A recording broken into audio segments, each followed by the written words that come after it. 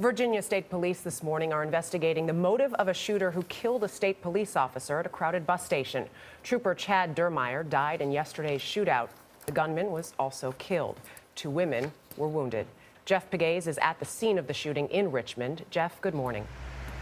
Good morning. Investigators have been going over the crime scene here overnight. They've been interviewing witnesses and looking at surveillance tape as well. What is still not clear this morning is what sparked the deadly confrontation here and why a man came to this Greyhound bus terminal armed with a gun in his waistband, eventually shooting and killing a state trooper. All units be advised we have an active shooting 2910 North Boulevard. They are still actively shooting. All officers proceed with caution. About a dozen Virginia State troopers were performing a field training drill at a Richmond bus station Thursday afternoon when a man appeared near the bathroom entrance. This man was like, Get down, get down, threw me to the ground, was like, Crawl, crawl. State Trooper Chad Dermyer approached the man and began talking to him.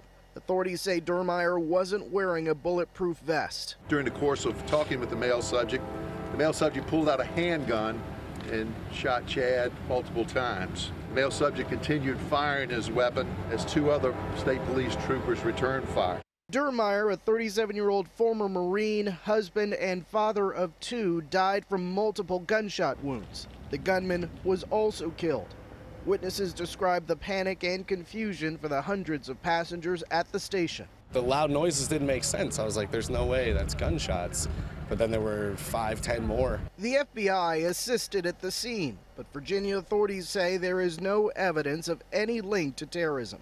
There are many more unanswered questions. It was quite a tragedy for all of us. The two women who were injured in the shooting here are expected to survive. One of them is a member of the Binghamton University track team.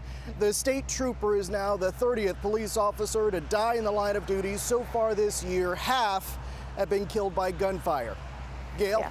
Thank you, Jeff.